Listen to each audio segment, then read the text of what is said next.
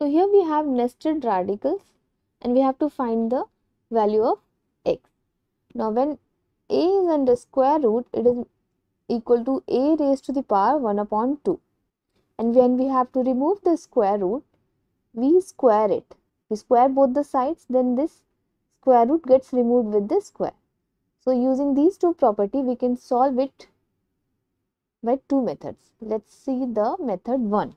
Now let's first check this x. This x is under 1 square root. So we will write here x to the power 1 upon 2 instead of the square root. Then times this x is under 2 square root. So it is times x to the power 1 upon 2 then whole to the power 1 upon 2 or simply we can write x to the power 1 upon 4. Now this third x is under this square root, this one and this one. So 3 square roots. So it will be x to the power 1 upon 8 then times this x is under 4 square roots. So this will be x to the power 1 upon 16 1 upon 2 times 1 upon 2 times 1 upon 2 times 1 upon 2. So this is 1 upon 16 then times x to the power 1 upon 32. This x is under 1, 2, 3, 4, 5 square roots is equal to 5. Now there is an identity if a raised to the power m times a raised to the power n then this is equal to a raised to the power m plus n. So using this property we can write here x to the power 1 upon 2 plus 1 upon 4 plus 1 upon 8 plus 1 upon 16 plus 1 upon 32 is equal to 5. Now let's add the fractions. To add the fractions, we take the LCD of the denominators.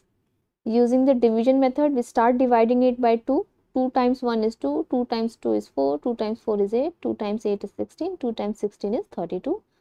Again divide it by 2 write 1 as 1 then 2 times 1 is 2 2 times 2 is 4 2 times 4 is 8 and 2 times 8 is 16 again divided by 2 write 1 as 1 again two numbers divisible by 2 so we keep on dividing until we get 1 or a prime number. 2 times 1 is 2 and 2 times 2 is 4 now 2 is a prime number. We can leave it here.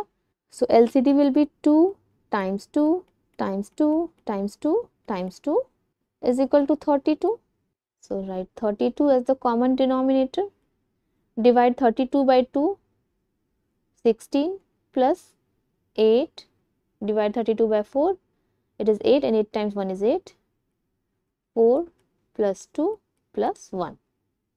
Now add it is equal to 31 upon 32.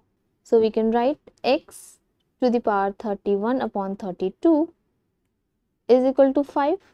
Now let's raise both the sides to the power of 32. So this will be 5 to the power 32. Here 32 gets cancelled with 32. So x to the power 31 is equal to 5 to the power 32. If we take the 31st root to both the side, we can cancel this 31 exponent with this 31th root. So x is equal to 31st root of 5 to the power 32. So this is the value of x. So this is method 1. In method 2, we can square both the sides for each of the square root. So when we first square it, we can remove this square with the square root.